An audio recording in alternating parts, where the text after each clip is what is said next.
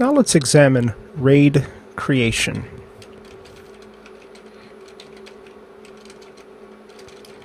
And RAID features the ability to spread data across multiple disks, two or more. So data spread across two or more disks slash partitions, and more importantly, redundancy.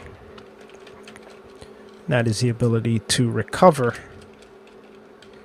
from catastrophe. And that's provided by RAID. Within Linux, a number of RAID versions or implementations are supported. So those are called levels, including 0, 1, 4, 5, 6, and 10, as well as some other features such as linear and container, among others. We'll look at the common types, 0, 1, and 5, that are implemented throughout data centers at the hardware as well as software levels. Now, of course, the software implementation of RAID is considered the poor man's RAID by contrast to a dedicated card to provide this functionality, or even firmware type RAID built into the BIOS, let's say Intel RAID, for example. But nonetheless, the kernel is able to, software wise, of course, aggregate your storage and provide levels of redundancy that are compliant with the RAID spec. So we've got some tasks. One, and that is to set up RAID 0.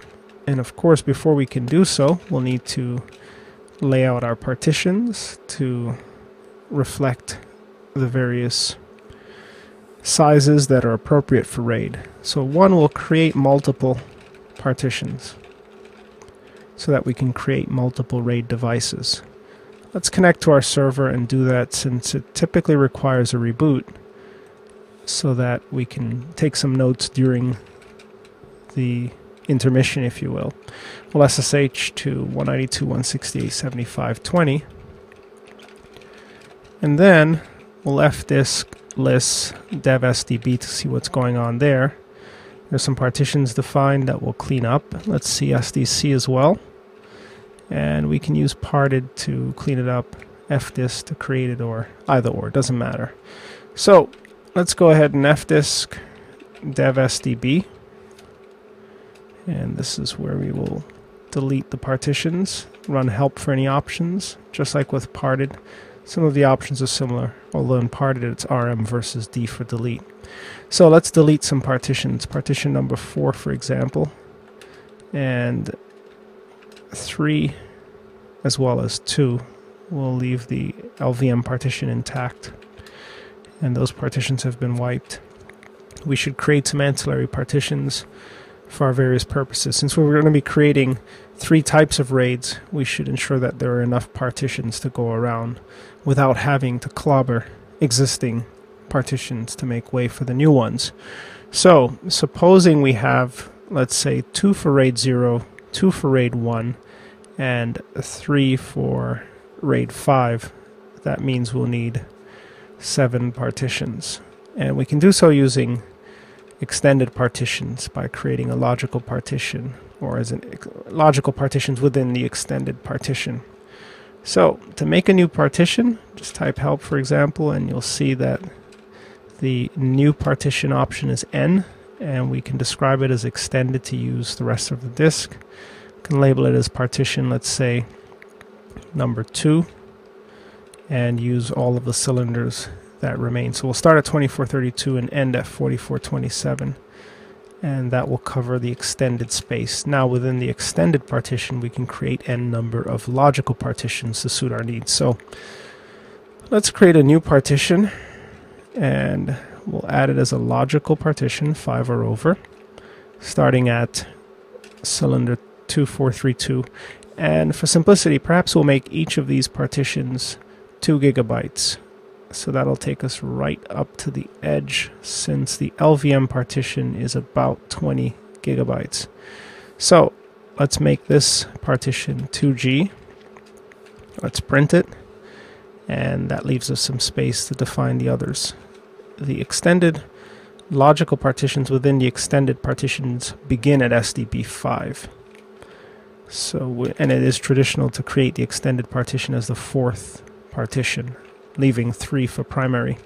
Let's create a new one, and this will also be a logical partition, beginning at the default starting cylinder, and also being two gigs in size. And we'll create some more. This will be also 2 gigabytes in size. Let's see how many are there now. So we're looking at 5 through 7 or 3 partitions. We need few more partitions. Now, we can spread our data across the two drives that are available. So we need a total of 7.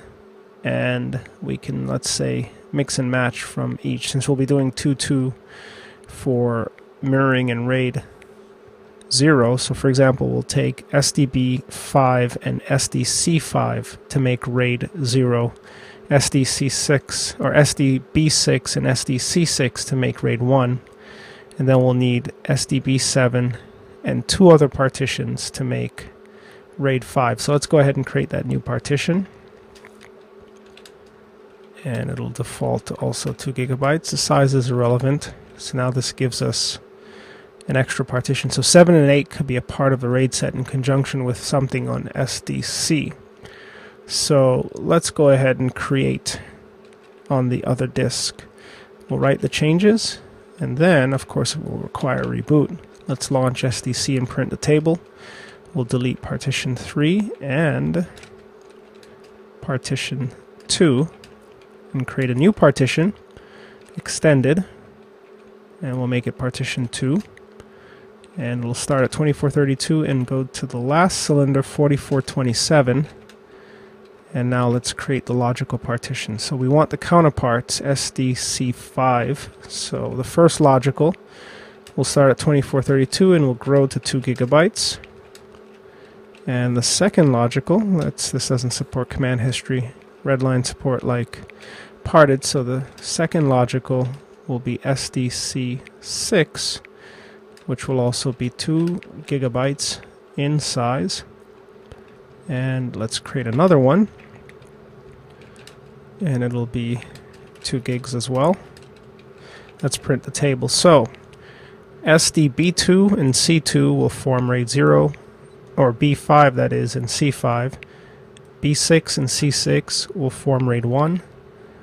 The other two from B, so 7 and 8, and 7 from here will form RAID 5. But we can also include it now since it requires a reboot. So let's just define a, yet another partition starting at 3218 and making it plus 2 gigabytes.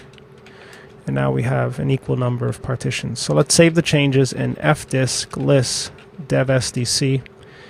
We have 1 through 8, sans 3 and 4, and let's list b ditto 1 through 8, sans 3 and 4. So we have an equal number of partitions all of Type 83 Linux, and these will be available to create our RAID sets. So let's reboot the server so the changes are committed. This will kick us off. And then we'll set up in our documentation what we're going to do. So create multiple partitions. Dev SD, and we'll use a character class to define B and C, partitions 5 through 8. So this could also be defined using a character class, so 5 through 8. So those partitions are in place, and the next step for us is an init 6 to reboot the system. Once the system's back up, we need to define the RAID levels that are of interest, beginning with RAID 0. There's a key utility named mdadm, which is a part of the mdadm package, which is responsible for managing RAID devices.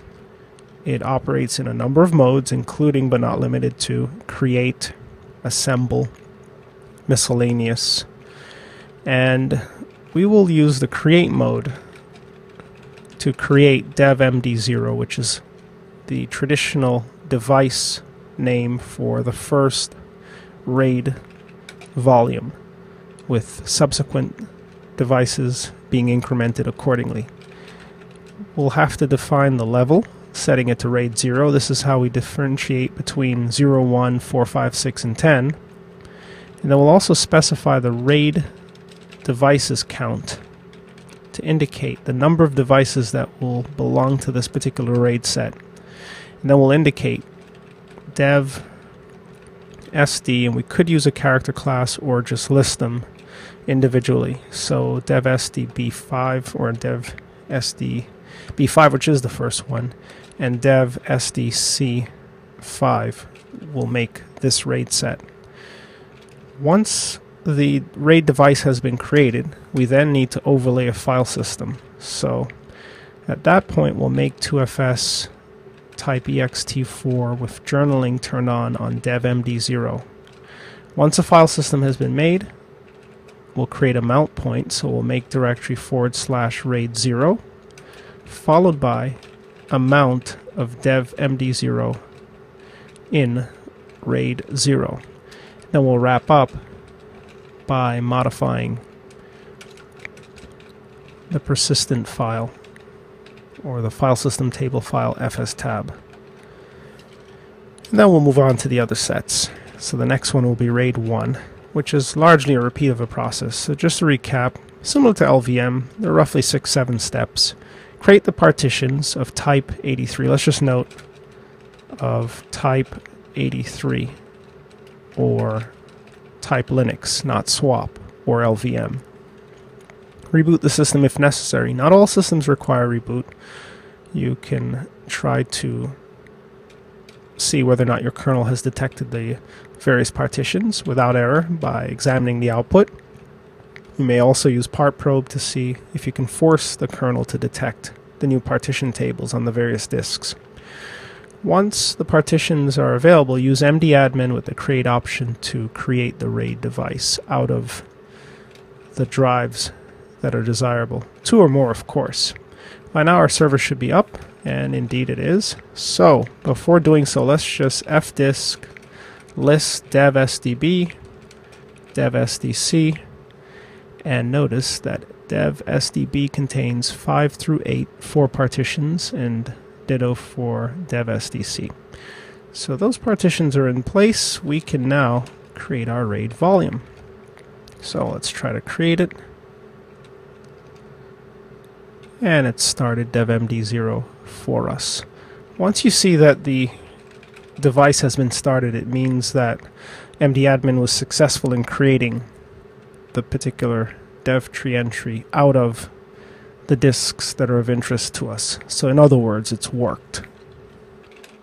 Now the next step for us is to overlay the file system on dev md0 and mount it, see whether or not it's accessible, and then outline the other types. So our steps include mke2fs, which is one way of executing the creation of a file system on a device that's in the dev tree. So let's go ahead and make 2FS ext4 and devmd0. And this will set things up for us. Let's echo the exit status to make sure that it's clean. Indeed. Then we will make a directory and mount the RAID 0 device or array in that particular directory. Let's echo the exit status, and of course mount will tell us whether or not things are clean. And indeed, it's up, read write, which means if we LSL RAID 0, we should see lost and found. And if we sequence some data to that directory, it should certainly work. So it's RAID 0 and this should be 100k seemingly dot text indeed we can write to it so super that's up raid 0 and there are ways using mdadm to query the raid sets that have been defined. So no need for you to memorize what was made where although it doesn't hurt to spreadsheet or document these items in a spreadsheet. So that's RAID 0 it's up. Now because we've created all these partitions everything's in place. Creating subsequent RAID types become even easier. So RAID 1, for example, instead of creating and initializing to level 6, which causes us to reboot, because the partitions are in place, we simply